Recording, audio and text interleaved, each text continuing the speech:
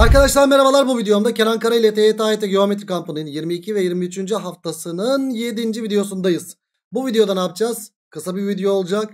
İki doğrunun kesim noktasından bahsedeceğiz.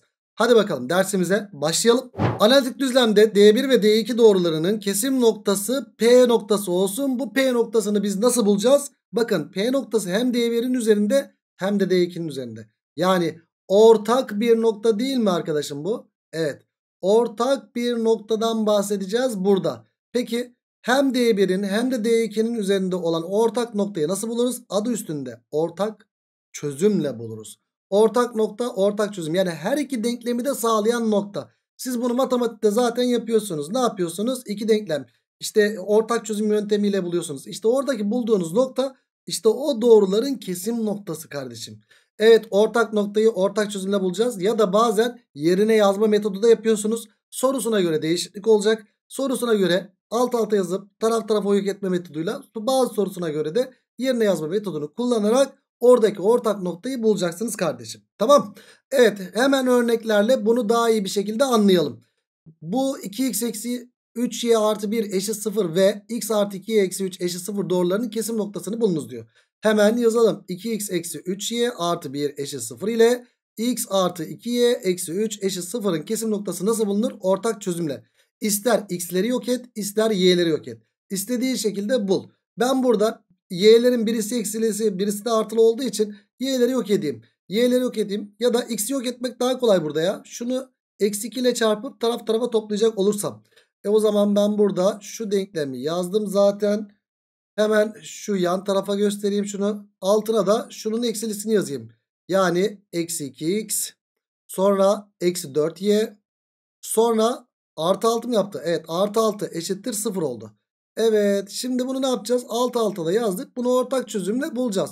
Taraf tarafa toplayacak olursam x'ler gitti mi gitti. Burası eksi 7y artı 7 eşit 0 yaptı. Buradan eksi 7y eşittir eksi 7 olduğundan y'yi 1 buluruz. E, y'yi 1 bulduktan sonra artık x'i de bulabiliriz. Herhangi bir denklemde y yerine 1 yaz. Hangi denklemde? Mesela üstteki denklemde 2x eksi 3y artı 1 eşit 0'da y yerine 1 yazacak olursak buradan ne geldi? 2x eksi 3 artı 1 eşit 0 olduğundan 2x eksi 2 eşit 0 yani 2x eşittir 2 yaptı ve x'i de kaç bulduk? 1 bulduk. Evet y'si 1 x'i de 1 bizden istenilen nokta ne noktası arkadaşlar? İki doğrunun kesim noktası olan nokta yani x virgül y. E arkadaşım x'i de 1 bulduk y'yi de 1 bulduk o zaman cevabımız ne yaptı? 1'e 1 noktası yaptı gençler. Tamam. Evet örnek 41'i böylelikle 1'e 1 olarak bulduk. Geldik örnek 42'ye. Analitik düzlemde y eşittir eksi 2x doğrusu 3x artı y eksi 1 eşit 0 ile 4x artı ky eksi 10 eşit 0 doğrularının kesim noktasından geçtiğine göre k nedir diye soruluyor. Bak çok güzel bir soru. Arkadaşım soruyu anlayabilmek için basit bir şekilde çekmişiz. Soruya hemen dalma. Sen burada soruya dalmaya kalksan hocam bu doğruyla bu doğrunun kesim noktasından geçiyormuş bu doğru deyip bu ikisinde ortak çözüm yapmaya kalkışırsın. Bak soruyu anlamaya çalış. Hemen çizeyim. Hocam y eşittir eksi 2x doğrusu nereden geçiyormuş? Bu doğruyla bu doğrunun kesim noktasında. Hemen o doğruları şöyle göstereyim. Bu doğru ve bu doğru. Yani bir tane doğrumuz ne? 3x artı y eksi 1 eşit 0 doğrusu. Öbür doğrumuz ne? 4x artı ky eksi 10 eşit 0 doğrusunun. Kesim noktasından bir de ne geçiyormuş? İşte bu doğru geçiyormuş. Bu doğru ne doğrusu arkadaşım? Y eşittir eksi 2x doğrusu. Şimdi sen soru köküne göre devam etsen şunu yaparsın. Hocam bu doğruyla bu doğruya ortak çözüm uygulayayım. Uygulasan da bulamazsın ki. Birinde 3x artı y var. Birinde 4x artı ky var. K'yı ne yapacaksın? Y'leri yok edemezsin. X'leri yok etsen bile y k'lı bir şekilde çıkacak. Ya da e, x'leri yok etsen bile evet y k'lı bir şekilde çıkacak. O zaman o sıkıntı.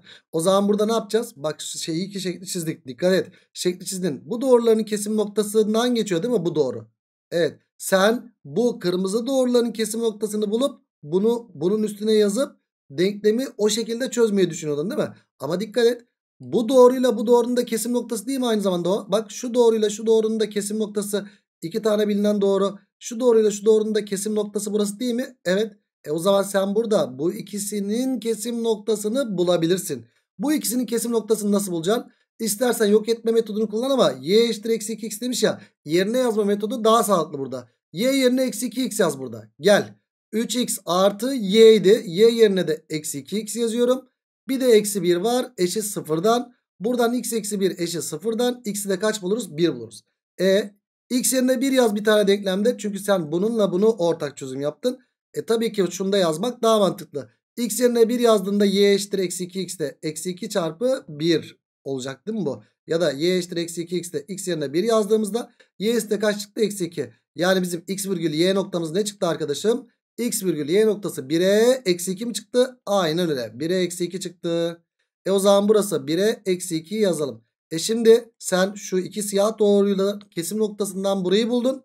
E arkadaşım bu nokta aynı zamanda şu kırmızı doğrunun üstünde değil mi? Evet. Denklemi sağlar mı? Kesinlikle sağlar. Yani x yerine 1 ve y yerine de eksi 2 yazdığında bir nokta doğrunun üzerindeyse denklemi sağlamak zorunda. Yaz bakalım burada 4 eksi 2k eksi 10 eşit sıfırdan. Buradan ne geliyor o zaman? Eksi 2k'yı öbür tarafa atalım. Eksi 6 eşittir 2k'dan. Buradan da k'yı eksi 3 diye buluruz. Bizden de k isteniliyor. Cevap da böylelikle eksi 3 çıktı. Çok güzel bir soru arkadaşım. Bak ÖSYM sorar mı sorar. Dikkat edin. ÖSYM sorar. Sen şu ikisinin ortak çözümünü bulmaya çalışırsın. Baktın bulamadın. Şekli çiz, şekli yorumla. Şekli çizmenin ne kadar önemli olduğunu soruda görüyor musun? Görüyorsun değil mi? Evet gençler güzel bir soruydu. Güzel bir yine şekli yorumlayıp şekli çizip yorumlamalık bir soruydu. Geldik bir sonraki soruya. Örnek 43'e. Şekilde verilenlere göre boyalı bölgenin alanını bulunuz diye söylüyor arkadaşlar bize. Şimdi bir doğru kes bir doğru verilmiş. Bir doğru daha verilmiş. Ne yapacağız arkadaşlar burada? Şimdi normalde hocam buradaki üçgenin alanı isteniyor. Ben şu şekilde bulabilirim. Nasıl bulabilirim? Öncelikle istersen ben bunu şöyle bir kopyalayayım. Belki ikinci yoldan yapabilirim. İkinci yolda da belki lazım olabilir bana. Arkadaşım burada hocam bu üçgenin alanında taban var mı? Var. Burası 5. Ben burada ne bulmalıyım? Tabana ait yükseklik bulmalıyım. E tabana ait yüksekliği ben nasıl bulacağım? Şuradaki noktayı bulursam bakın x virgül y noktasını bulursam eğer ben e, buradaki yüksekliği de bulmuş olur muyum? Evet. Şuradaki x virgül y noktası diyecek olursam apsimiz x ordinatımız y. Yani ben şu uzunluğu bulmaya çalışacağım. Yani şurayı. Yani iki doğrunun kesim noktasında apsisini bulmaya çalışacağım. Evet buna ben birinci yol diyeyim. Birinci yol tabii ki güzel bir yol ama ikinci yolda geometrik çözümden de yapacağım şimdi onu. Birinci yoldan yapalım. Hocam ben bu doğrunun bu doğruyla bu doğrunun kesim noktasını bulmaya çalışmalıyım. O zaman kesim noktasını bulmak için ne yapmam lazım? Denklemlerini yazmam lazım. Evet birinci doğrunun denklemini yazabilir miyiz biz burada? Yazabiliriz tabii ki. Nasıl yazabiliriz? Şöyle yazabiliriz. Şu birinci yolu üstte yapayım ya istersen. Birinci yol. Evet nasıl yazabiliriz? Hocam eksenleri kestiği yerler belli. x bölü eksi 4 artı d1 doğrusu. d1 doğrusu x bölü eksi 4 artı y bölü 6 eşittir 1 değil mi? Evet. Buradan bunu kaçla genişleteyim? Artı 12 yapayım. Burası eksi 3 ile çarpayım. Burayı da 2 ile çarpayım. O zaman birinci doğrumuz ne yaptı arkadaşlar? Eksi 3x artı 2y eşittir. Hani eksi 3x artı 2y bölü 12 eşittir 1 ya. 12 de öbür tarafa çarpı olarak geçirdik. Eşittir artı 12 oldu. Tamam bir doğru denklemini bulduk. Öbür doğru denklemi de arkadaşlar eksenleri kestiği yerler 2 ve 1 değil mi? Evet. x bölü 2 artı y bölü 1 eşittir 1'den. 2 ile genişlettik bunu. Buradan da ne geldi o zaman? Buradan x artı 2y bölü 2 x artı 2y bölü 2 eşittir 1 ya. 2 ile de karşı tarafı çarpınca x artı 2y eşittir 2 yaptı. Ben şimdi ne yapmalıyım burada? Kesim noktası x virgül y'deki y'yi bulmayayım. Neyi bulmak zorundayım ben arkadaşlar? Buradaki şeyi bulmalıyım ben. Apsisi bulmalıyım. O zaman y'yi yok etmeliyim. O zaman ben buradaki denklem bak alt alta da gelmiş burada. Bunu eksiyle çarpıp tarafı tarafa toplarsam eğer yani eksi 3x artı 2y eşittir 12 idi. Burası da eksi x eksi 2y eşittir eksi 2 yapmak zorunda değil mi? Evet. Eksiyle çarptım. Eksi x eksi 2y eşittir eksi 2 yapmak zorunda. Taraf tarafa toplarsam buradan eksi 4x eşittir 10 olduğundan dolayı x de buradan ne geldi? Eksi 5 bölü 2 geldi. Evet buradaki noktanın apsisi eksi 5 bölü 2 geldi. Yani bu uzunluk 5 bölü 2 olur. Yukarıdaki uzunluk da 5 bölü 2 yapar. E o zaman burası ne oldu arkadaşlar? Taban belli. Yükseklik belli. E o zaman alan çıkar mı? Çıkar. Taban 5 çarpı yükseklik 5 bölü 2 bölü 2'den kaça eşit olacaktır? 25 bölü 4'e eşit olacaktır. Evet birinci yol bu. İşte doğruların kesim noktasını bulduktan sonra şu üçgenin alanı olsun, bu üçgenin alanı olsun, şu üçgenin alanı olsun her yerin alanını bulabilirsin. Peki ikinci yol nedir hocam? Şimdi genelde arkadaşlar ikinci yol şöyle olsun. Genelde bu tür sorular ÖSYM şöyle soruyor aslında. Buradaki 1'e 2 değil de daha kolay olsun diye 1'e 1 şeklinde soruyor. 1'e 1 olursa bak burada kaçı 45 derece. Burası da 45 derece. Burası da 45 derece. Buradan dik çizdiğinde aa hocam yükseklik lazım olacak ya bize. Şu yüksekliği bulacak olursak olay bitti. Bak 45 90 ise burası da 45 oldu. Burası da x oldu. E burası x olunca ne oluyor? Şurası da 1 birim ya. Soru kökünde de şurayı değiştirdim. Burası da 1 oldu. E sonra buraya kaç kaldı arkadaşım? Tamamı bunun 6 birimdi. Değil mi? Evet bunun tamamı 6 birimdi. Biri burada x'i burada. O zaman burası 5 eksi x yaptı. Topladığımız zaman 6 yapıyor. Bak benzerlikten 5 eksi x'in tamamının oranı. x'in 4'ü oranından x'i bulursun. Taban çarpı yüksek bölü 2'den sonuca ulaşırsın. Eğer burası 1'e 1 olmuş olsaydı işimiz kolay olacaktı. Peki 1'e 1 olmazsa yani aynen soru bu şekilde olmuş olsaydı şöyle olmuş olsaydı o zaman nasıl olacaktı? İşte buna da ikinci yol diyeyim ben şimdi. İkinci yolda da o zaman arkadaşlar ben şuradaki yüksekliği bulmaya çalışacağım mı? Çalışacağım. E o zaman burada ne yapacağız? Burası da 90 derece. Tanjant alfadan gidebilirim. Alfa, beta, burası da beta, burası da alfa değil mi? Evet. Şöyle bakacak olursam burası 1 burası 2. Tanjant alfa 1 bölü 2 eşit değil mi? Evet. Burada da tanjant alfa 1 bölü 2. Ya da geometriden hocam kelebekteki oran işte burada direkt kelebekteki oran yok ama e, bu alfadan beta'ya geçiş var burada. O zaman burada da alfadan beta'ya geçiş. Hani benzerlik mantığı. Hani tanjant beta gelmezse benzerlik mantığı. Alfadan beta'ya geçiş 1'e 2. Yani burası x iken burası nedir? 2x'tir. E şuraya kadarki uzunluk 5 birim 6 ile 1 arası. O zaman buraya 5 eksi x kaldı deriz.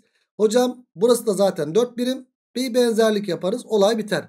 5 eksi x'in tamamına oranı 6'ya oranı eşittir. 2x'in 4'e oranı. 2x'in 4'e oranı deriz. Şunlar şunlar sadeleşsin. 2. Bu 2 ile 6 sadeleşsin. 3. Buradan 5 eksi x eşittir 3x yaptı. Buradan 5 eşittir 4x yaptı. X'i de kaç bulduk? 5 bölü 4 bulduk. E o zaman alan neye eşit olacaktır arkadaşlar?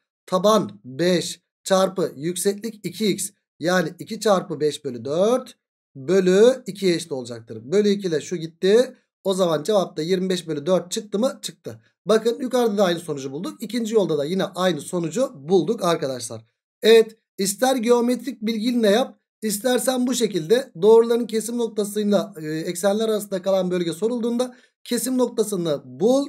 Ama kesim noktasının ikisini bulmana gerek yok. Ya apsisi lazım olacak ya da ordinatı lazım olacak. Yani ben burada ne yaptım? Apsisi lazım olacak diye direkt ordinatı yok ettim mesela. Fazladan işlem yapma burada. Tamam mı? Ha, ordinatı lazım olsaydı o zaman x'leri yok ederdim. O zaman da ona göre işlemi daha da kısalaştırırdık arkadaşlar. Anlaştık.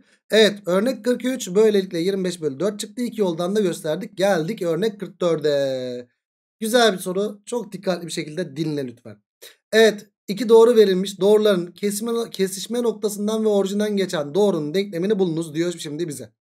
Gençler bakın siz şimdi burada ne yaparsınız? Büyük ihtimalle hocam biz burada şu iki doğru verilmiş elimize. Bu iki doğru üzerinde işlem yapacak olursak bu doğruların kesim noktasını bulurum ben diyebilirsin. Evet bulmaya çalış bakalım. Hocam x'i mi yok edeyim y'mi y'yi mi yok edeyim? Eyvah ikisi de zor.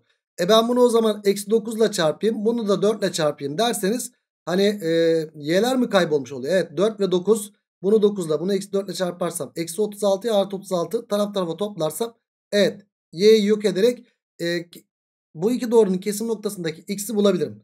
Ama x'i bulacaksın ya. Eksi 27x artı 32x. Bir de böyle bölülü bir şey gelecek. Onun yerine yazacaksın falan filan. Baya bir uzun olacak değil mi? Evet yok etme işleminde sıkıntılı bir durum varsa o zaman daha kolay bir çözüm Hayır konuşamadım. Daha kolay bir çözüm yöntemi olduğu aklının ucuna gelsin. Nasıl bir kolay bir çözüm yöntemi var hocam? Şimdi soruyu oku. Bakın A şıkkından bahsediyorum. Şimdi kesişme noktasından geçen bu doğruların kesme noktasından geçen ve orijinden geçen diyor. Şimdi sen iki doğrunun kesim noktasını kolay bir şekilde bulabilmiş olsaydın mesela atıyorum 1'e 2 diye buldun. Sonra orijinde hocam 0'a 0 derdin. Sonra bu doğrulardan geçen doğru denklemi. E hocam iki noktası belli ya. İki noktası bilinen doğru. Hani doğru denklemi yazarken kendimize iki soru soracağız. Bir eğim iki nokta. E, eğim var mı? Yok. Y'ler farkı bölü x'ler farkından eğim bulacaktık. Sonra eğim belli nokta belli doğru denklemini yazacaktık. Ama işte bak kesim noktası burada sıkıntılı ya. O, o tür sorularda ne yapacaksın? Kesme noktasından geçen dediği zaman sen buradan ne anlıyorsun? Sen buradan bir ortak çözüm yapacaksın kardeşim. E Sonra burada da orijinden geçen bir doğrudan bahsediyor. Orijinden geçen bir doğru nasıl bir doğruydu arkadaşlar? Y eşittir mx artı c'de c olmayacaktı değil mi? Evet. O zaman iki cümleyi birleştir. Bak kesişme noktasından geçen ve orijinden geçen. Sen kesişme noktasından geçen dediği zaman ortak çözüm aklına geldi. Orijinden geçen dediği zaman da y eşittir mx şeklinde olacak. Yani sabit sayı olmayacak. O zaman iki cümleyi birleştir bakayım ne geliyor? Öyle bir ortak çözüm yap ki c'ler nanay olsun. E o zaman biz de burada öyle bir şey yapalım. Şu ikisinde öyle bir ortak çözüm yapalım ki c'ler nanay olsun. Ben şunu ne c'leri yok etmeye çalışacağım. Direkt 2 ile çarpıp taraf tarafa toplarsam olay bitiyor mu? Bitiyor. 2 ile çarptım. 6x artı 8y artı 10 eşit 0. Bu da 8x artı 9y eksi 10 eşit 0. Taraf tarafa toplarsam 14x artı 17y eşittir 0 şeklinde oldu arkadaşlar. Evet bu iki doğrunun kesim noktasından ve orijinden geçen doğru denklemi bu şekilde yazılır. Ha şıklarda olmayabilir. Genelde orijinden geçen bir doğru y eşittir şeklinde oluyor ya. Hani 17y eşittir eksi 14x deyip de y de buradan eksi 14 bölü 17 x şeklinde de yazabilirsin. O da sana kalmış kardeşim. Ya da şıklara kalmış kardeşim. Tamam. Evet gördüğünüz üzere çok kolay. Peki B şıkkına bakalım şimdi. B şıkkı ne diyor? Doğruların kesme noktasından geçen ve x ekseninden paralel olan bir doğru. Evet biz bunu deyince ne anlıyoruz? Ortak çözüm yapacaksın kardeşim. Ama ortak çözüm sıkıntılı. Devamını oku. X eksenine paralel olan bir doğru. Düşün şimdi. X eksenine paralel olan bir doğru. Hop şöyle bir doğru değil mi? Evet. Şöyle bir doğru nasıl oluyordu? X eksenini kesmiyor. Her yerde y'si aynıydı. Yani bu y eşittir k şeklinde bir doğru. He, o zaman ben şu iki doğruda öyle bir ortak çözüm yapacağım ki bu ikisinde y eşittir bilmem neli olacak. Yani x'li bir denklem olmayacak. Yani x'leri yok edeceğim o zaman. İki cümleyi böyle birleştirecek olursam. Öyle bir ortak çözüm yap ki x olmasın. Yani ben burada öyle bir şey yapayım ki x'leri yok edeyim. Yukarıyı 8 ile çarpayım. Aşağıyı da eksi 3 ile çarpıp taraf tarafa toplarsam olay bitecek o zaman arkadaşlar. O zaman buradakini çarptığım zaman 24x artı 32y artı 40 eşittir 0. 8 ile çarptım bunu. Bunda eksi 24x eksi 27y e, artı 30 eşittir 0 yaptı arkadaşlar. Değil mi? Evet taraf tarafa toplarsam şunlar gitti. Şurası kaç y yaptı arkadaşlar? 5y yaptı. 5y artı 70 eşit 0 olduğundan 5y eşittir eksi 70 olacağından y de buradan kaç yaptı? Eksi 14 yaptı arkadaşlar. Evet. İki doğrunun kesim noktasından geçen ve x eksenine paralel olan doğrunun denklemi de bu şekilde bulunur. Peki şöyle olmuş olsaydı x eksenine dik olan demiş olsaydı hocam o zaman x eksenine dik olan doğru da x eşittir k şeklinde olacağından öyle bir ortak çözüm yapacağım ki x eşittir k'lı olacak. Yani y'ler nanay yapmalıyım. O zaman nasıl yapacaksın? Y'leri yok edecek bir hamle yapacaktın o zaman dostum. Tamam bunu unutma gerçekten. Bu da güzel bir soru. Bu da size bir şey öğretti. Ee, özellikle ortak çözümün zor olduğu sorularda böyle ince ayrıntılar olabilir. Dikkat edin lütfen. Evet gençler böylelikle doğruların kesim noktasıyla ilgili olan e, videoyu halletmiş olduk. O zaman ne diyoruz? Bir sonraki videoda noktanın doğru olan uzaklığı ya da paralel iki doğru arasındaki uzaklıkta görüşmek dileğiyle. Kendinize iyi bakın. Hoşçakalın.